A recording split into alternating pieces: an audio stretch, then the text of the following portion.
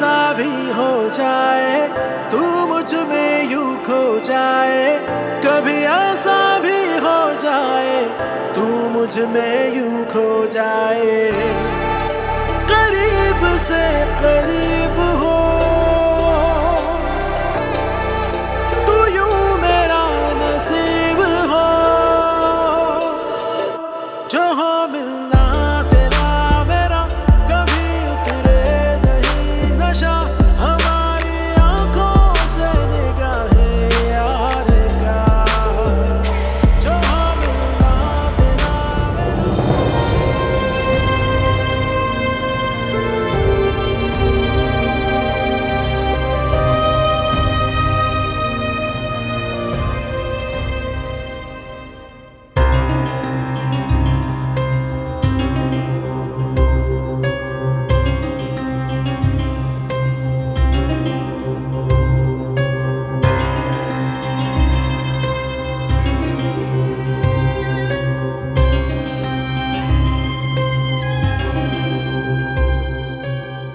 धोखेबाज।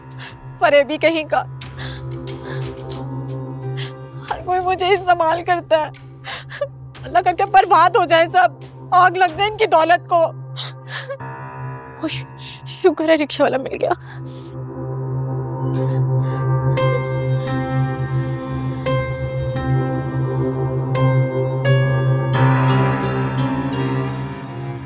Uncle uncle मुझे hospital जाना मेरी अम्मा को हार्ट अटैक आया है। अल्लाह करके मेरी अम्मा को कुछ हो ना। क्या अल्लाह खैर करेगा? कुछ नहीं होता आपकी वालदा को। अब दुआ करो मैं भी दुआ करता हूँ। मेरा मेरी अम्मा के अलावा इस पूरी दुनिया में कोई नहीं है। मुझे हॉस्पिटल ले जाए। अल्लाह खैर करे।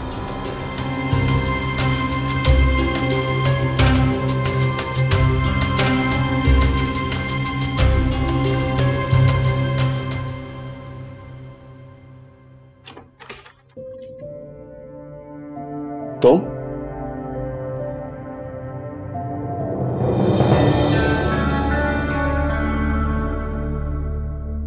अंदर जाओ। मैं लाई हूँ इसे यहाँ।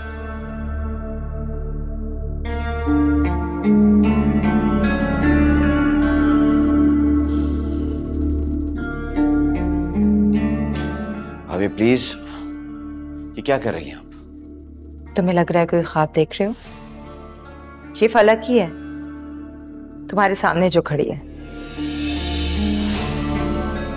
क्या बचपना है तैमूर? इस हालत में इसे आराम की ज़रूरत है। इसका ख्याल रखना चाहिए।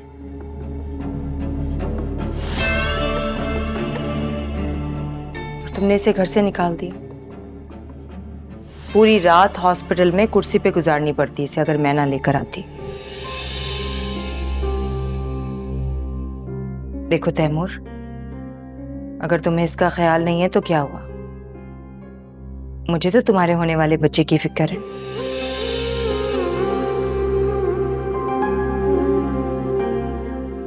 भाभी अगर इनकी मर्ज़ी नहीं थी तो आप मुझे वहीं रहने देती।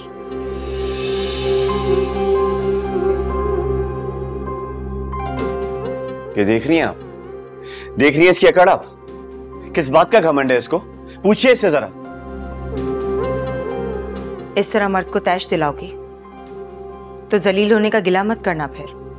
भाभी मैंने कुछ गलत नहीं किया। मैंने यकीन दिला दिला कर थक गई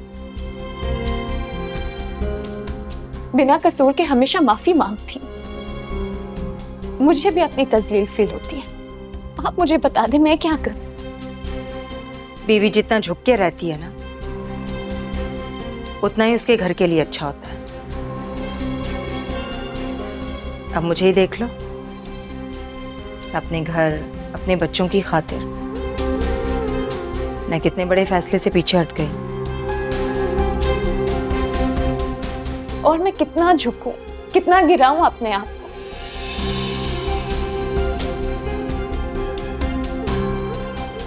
कि अब तुम दोनों मियाँ बीवी के आपस का मसला है। खुद ही बैठ के सुलझाओ। तुम्हें करना क्या है सारा दिन? भाई, कमरे में पड़ी, आराम करती रहना।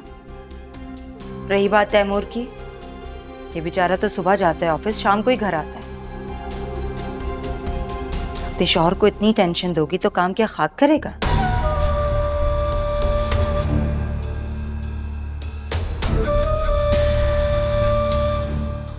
जाओ अंदर।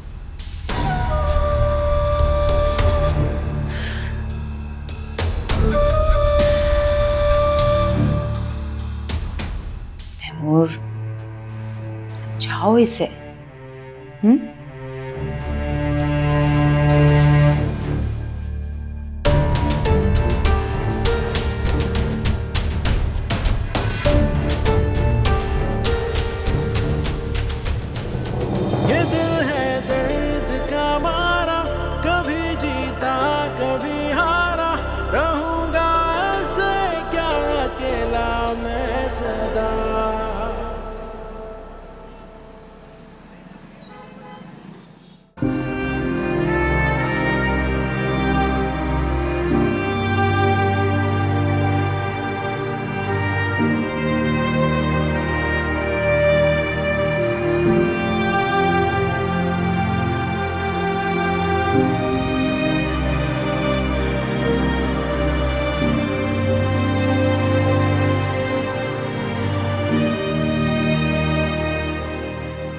अम्मी। मैं तो हैरान हूँ कि मैं ज़िंदा कैसे हूँ अब तक। अम्मी प्लीज़ अपनी तरबियत देख के तो मुझे मर जाना चाहिए था। मैंने आपसे कहा था ये सब ना करें। लेकिन आपने मेरी एक बात नहीं सुनी। गलती मेरी है। सजा तो मुझे ही मिलनी चाहिए। मैं अपने बेटे की तरबियत तो ढंग से नहीं कर पाई। बड़ा घमंड था मुझे कि मेरी औलाद बहुत फर्मा बरदार है।